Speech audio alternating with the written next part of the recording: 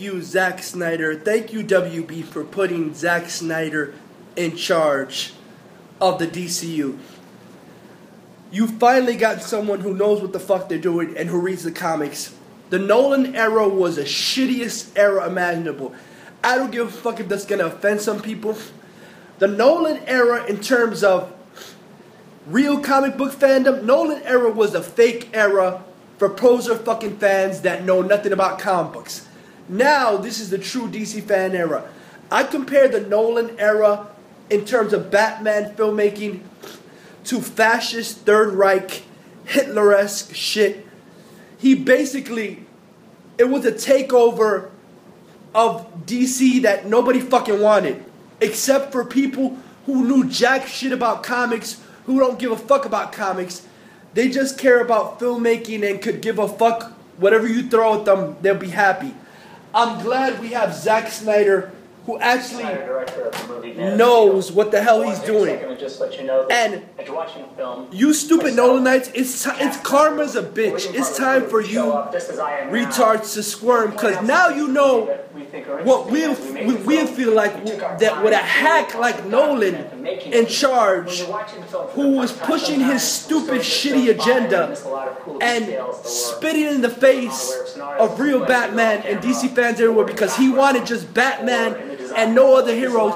The, the fucking hack Nolan never wanted to share universe anyway, so that's why I laugh when any fucking retard thinks that Nolan really had anything to do with Man of Steel, Batman vs Superman. The fucking asshole only cared about Batman, didn't want to share universe anyway. So Zack Snyder is a true DC fan who cared about the entire DC universe, not just about Batman. There's some fake ass bitch posers that only care about Batman, only want to see Batman solo movie. They don't care about the DCU at large.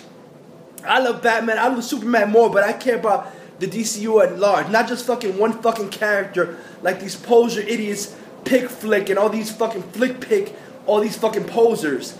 No, I care about the DCU at large, including Batman, Superman, Aquaman, all the characters. Not you fucking punk bitch, poser ass fans that just the Batman fans and no one else. DCU has a vastly superior to shitty Marvel. Vastly better characters all around. With the exception of Marvel having Spider Man and Hulk, Marvel characters are just straight up shit. Straight up shit. DC characters are superior. So thank you, Zack Snyder. Thank you, WB, for finally putting the right fucking person in charge. That is Zack Snyder in charge of DCU. And only people who don't give a fuck about comics like shitty Christopher Nolan. He was a fucking horrible director for Batman. You finally got the right one. Now karma's a bitch. You fake poser G- DC fans. You fake DC fans. Because the real true DC fans are happy with Zack Snyder.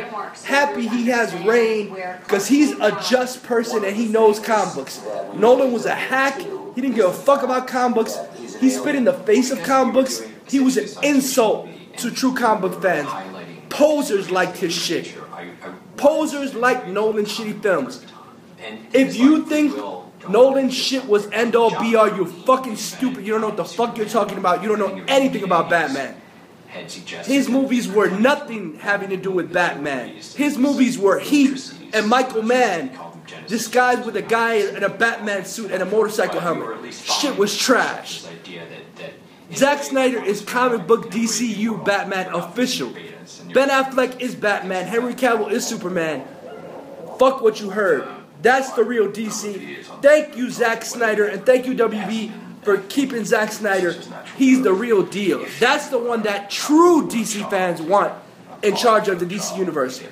Fuck Marvel. Don't give a fuck about Civil War. DC out. Thank you, Zack.